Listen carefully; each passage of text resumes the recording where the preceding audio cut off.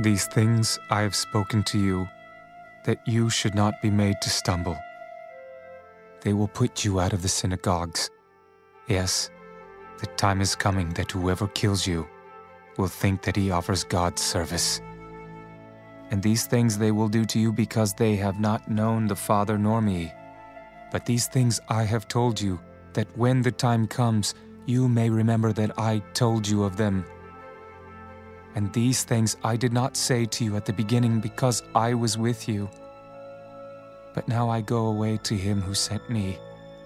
And none of you asks me, Where are you going? But because I have said these things to you, sorrow has filled your heart. Nevertheless, I tell you the truth. It is to your advantage that I go away. For if I do not go away, the Helper will not come to you. But if I depart, I will send him to you. And when he has come, he will convict the world of sin, and of righteousness, and of judgment. Of sin because they do not believe in me, of righteousness because I go to my Father, and you see me no more, of judgment because the ruler of this world is judged. I still have many things to say to you, but you cannot bear them now. However, when He, the Spirit of truth, has come, He will guide you into all truth. For He will not speak on His own authority, but whatever He hears, He will speak. And He will tell you things to come.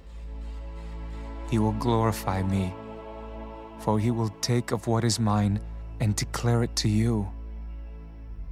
All things that the Father has are mine. Therefore I said that he will take of mine and declare it to you. A little while, and you will not see me. And again a little while, and you will see me. Because I go to the Father. Then some of his disciples said among themselves, What is this that he says to us? A little while and you will not see me, and again a little while and you will see me? And because I go to the Father?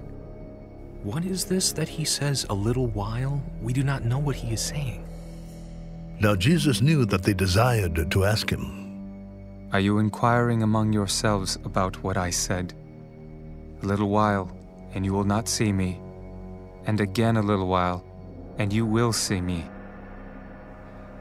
Most assuredly, I say to you that you will weep and lament, but the world will rejoice, and you will be sorrowful, but your sorrow will be turned into joy. A woman, when she is in labor, has sorrow because her hour has come.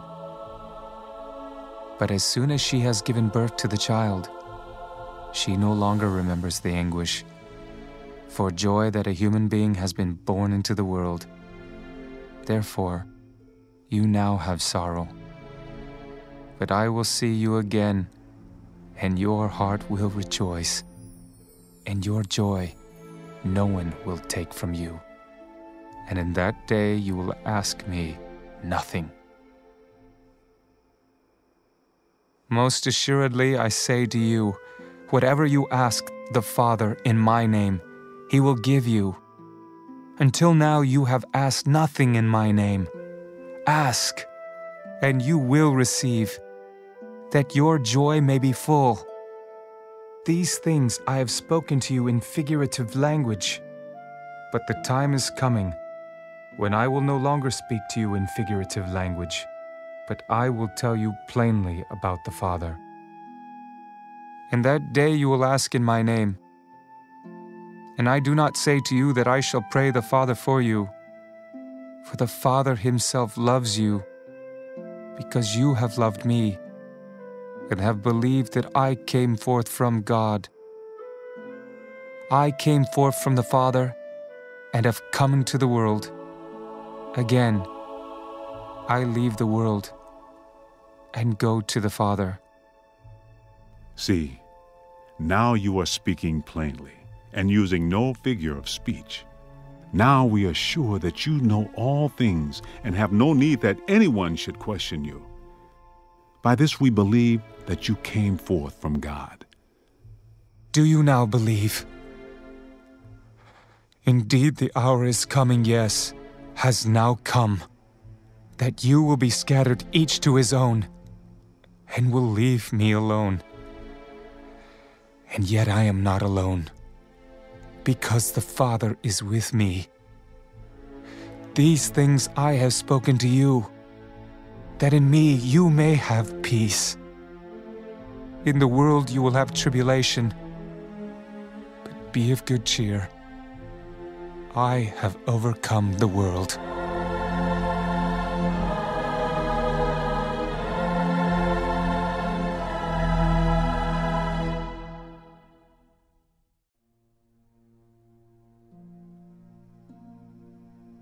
Jesus spoke these words, lifted up his eyes to heaven, and said, Father, the hour has come.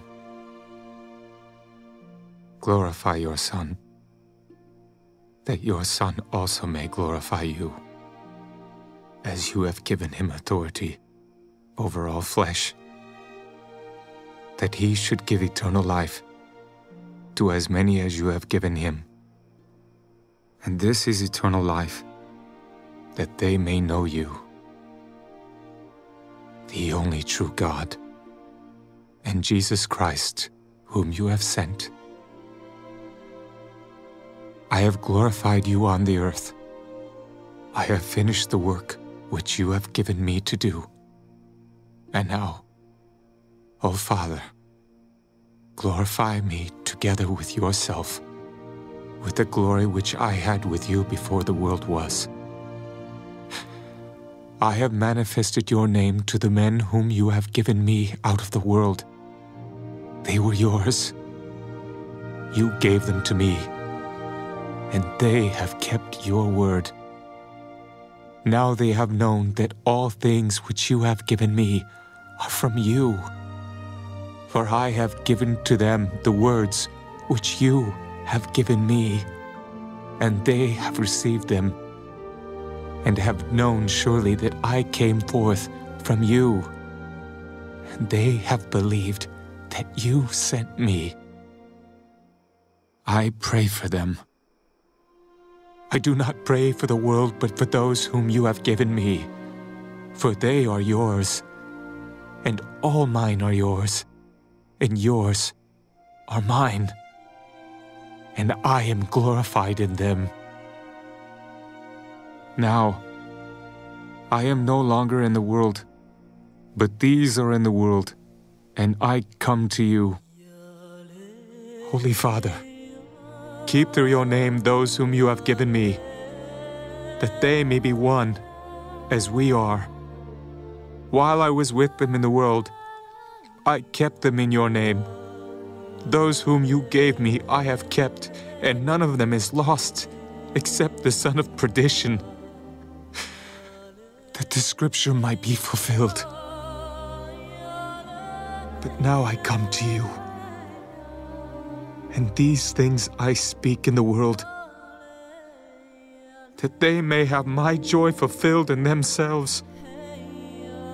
I have given them your word, and the world has hated them because they are not of the world, just as I am not of the world. I do not pray that you should take them out of the world, but that you should keep them from the evil one. They are not of the world just as I am not of the world. Sanctify them by your truth. Your word is truth. As you sent me into the world, I also have sent them into the world, and for their sakes I sanctify myself, that they also may be sanctified by the truth. I do not pray for these alone but also for those who will believe in me through their word, that they all may be one, as you, Father, are in me, and I in you, that they also may be one in us, that the world may believe that you sent me, and the glory which you gave me I have given them, that they may be one just as we are one, I in them, and you in me, that they may be made perfect in one and that the world may know that you have sent me and have loved them as you have loved me.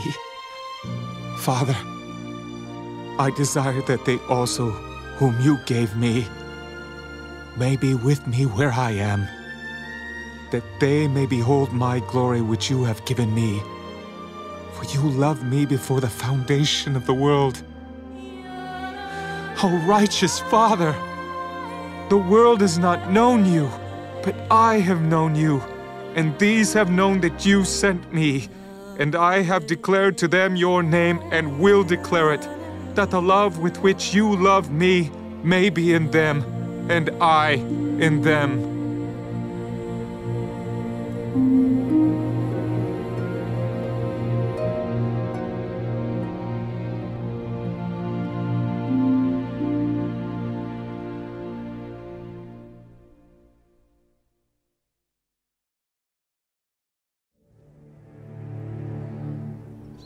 When Jesus had spoken these words, he went out with his disciples over the brook Kidron, where there was a garden, which he and his disciples entered. And Judas, who betrayed him, also knew the place, for Jesus often met there with his disciples. Then Judas, having received a detachment of troops and officers from the chief priests and Pharisees, came there with lanterns, torches, and weapons. Jesus, therefore, knowing all things that would come upon him, went forward. Whom are you seeking? Jesus of Nazareth. I am he. And Judas, who betrayed him, also stood with them. Now when he said to them, I am he, they drew back and fell to the ground.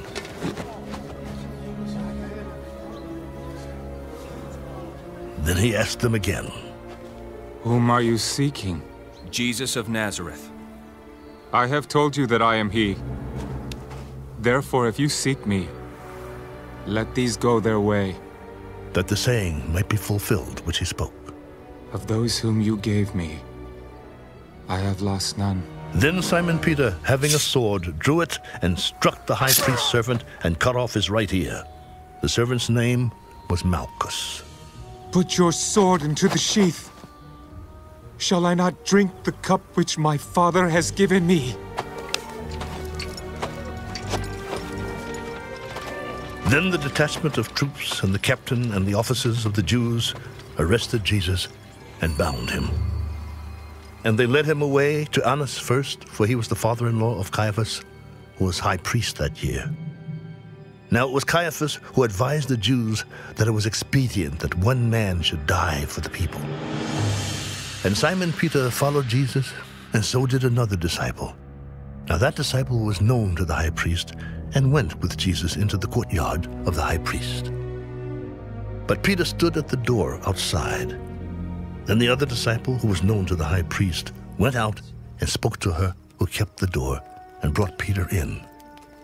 Then the servant girl who kept the door said to Peter, You are not also one of this man's disciples, are you? I am not.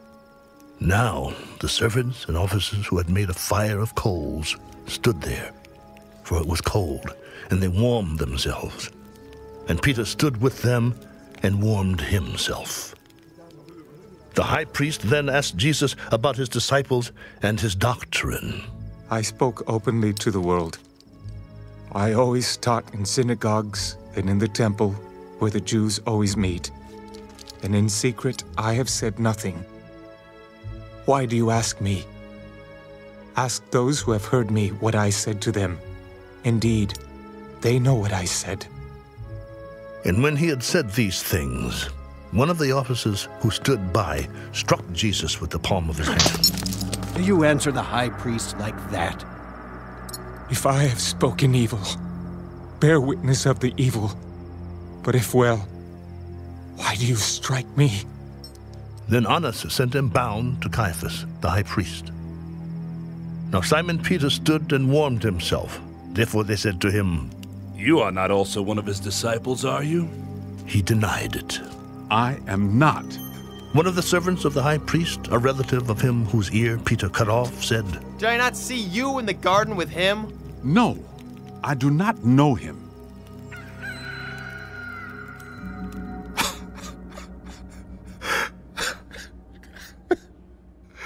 Then they led Jesus from Caiaphas to the praetorium, and it was early morning. But they themselves did not go into the praetorium, lest they should be defiled, but that they might eat the Passover.